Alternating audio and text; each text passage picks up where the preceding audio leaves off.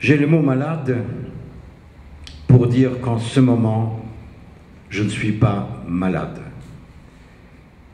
J'ai le mot fou pour dire qu'en ce moment, je ne suis pas fou. J'ai le mot mort, il ne me sert à rien, sauf à jeter une insurmontable suspicion sur tous les mots qui précèdent, sur tous les mots qui suivent. Je continue, écris le mot malade, le mot fou. J'écris le mot corps, qui signifie que le cœur bat, que la main, en ce moment, trace ses signes autour du mot corps, qui signifie que les yeux s'ouvrent, que les poumons pompent, sinon la main, en ce moment, ne tracerait ces signes autour du mot corps, qui signifie que mon sexe d'homme, de temps en temps, se dresse et veut aller et va dans une femme, perdre vie et vue au fond de la faille océane, coït ou coïncide l'euphorie première et l'ultime vertige. J'écris au bout de la main du corps le mot malade, le mot fou. J'écris le nom du jour, le nom du lieu. J'écris impunément, énigmatiquement, sans savoir ce que j'écris, le mot mort. Écrire, c'est faire baisser le niveau de l'encre dans l'encrier. C'est toujours recommencer à écrire, c'est enfin commencer à écrire, c'est définitivement cesser de ne pas écrire. C'est choyer la respiration, échapper à l'étouffement, c'est s'assouffler.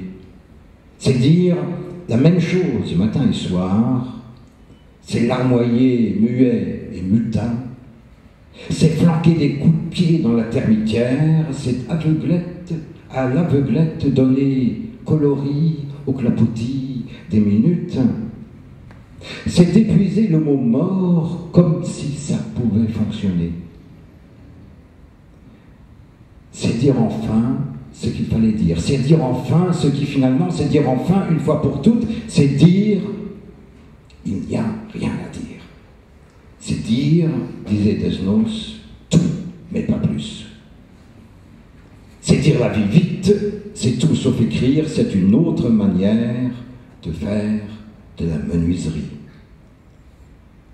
Écrire, c'est écrire voici le sujet et des bobines la bobine, c'est éjaculer sec, c'est se souvenir des leçons d'Ovide et de Pindare, c'est faute de mieux, c'est bonheur lorsque le mot vient, c'est beau comme baiser, cette horreur verminée suicide, c'est les sept dernières paroles sans vinaigre et sans violon. C'est aller comme va le scarabée, c'est l'échappée belle et à l'onction extrême.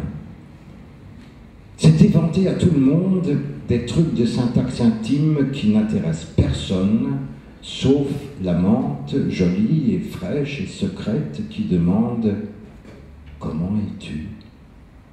C'est dégueuler le sirop bigot des curés et réimaginer des religions fraternelles et poétiques, des prophètes souriants et des saintes sans chasteté.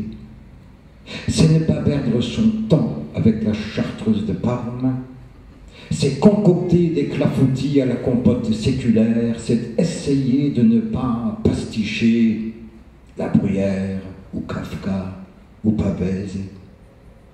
Écrire, c'est pour demander montre-moi tes seins. C'est fredonner, c'est chanter, c'est allégresse pour rien et peine perdue, c'est merci à Mozart pour le lac du Mozart et le voix qui s'appelle. C'est ne pas encore pour rire, c'est pour rire et pour chialer. C'est pour écouter le grattement de la plume sur le papier, c'est taper dans la poisse des rhétoriques, s'emberlificoter dans les innombrables métaphores qui tournent autour du pot pour faire joli. C'est s'enrouler dans le cordon ombilical et se mimer fœtal. C'est dire et maudire le premier râle et le dernier vagissement.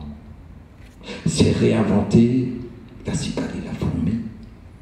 C'est frétiller tétard qui n'est que tête et queue. C'est renaître morné et papillon.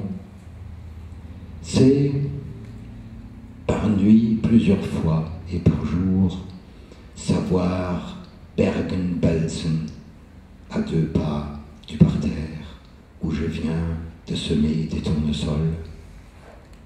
Écrire, c'est risquer le bouquet pour un brin d'herbe.